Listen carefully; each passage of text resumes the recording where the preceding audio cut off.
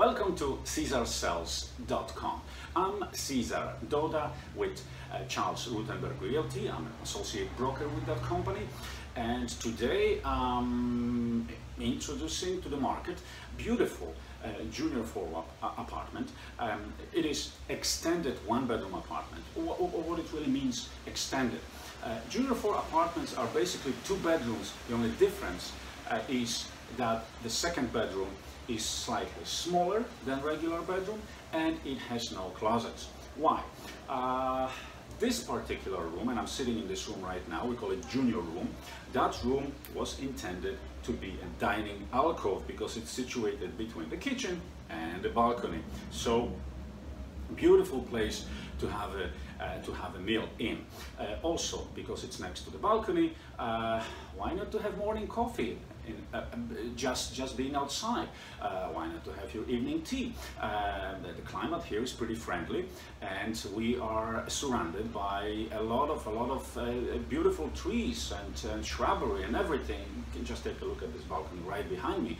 Um, it's it's a very very um, environmentally oriented area.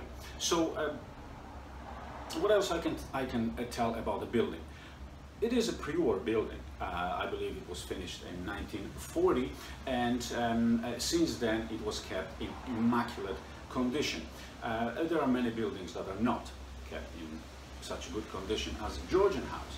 And why this is one of my favorite buildings? Um, well, there is a doorman, there is a living superintendent, there is um, also a porter.